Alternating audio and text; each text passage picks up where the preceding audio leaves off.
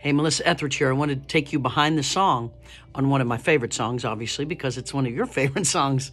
It's Come to My Window. And the funny thing about this song is um, it was really personal to me because I was writing it about the relationship I was having, which was having some difficulties. And um, I was away all the time. That was one of the difficulties. I was traveling and touring.